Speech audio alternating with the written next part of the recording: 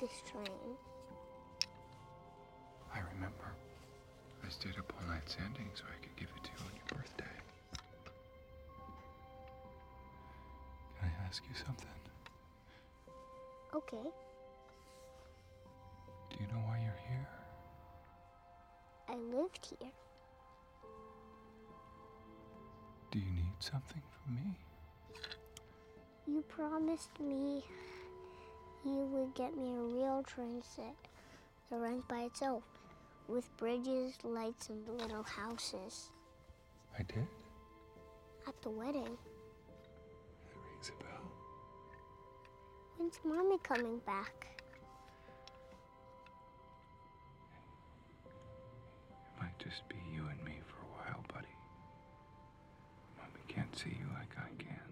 Yes, she can. She's just afraid.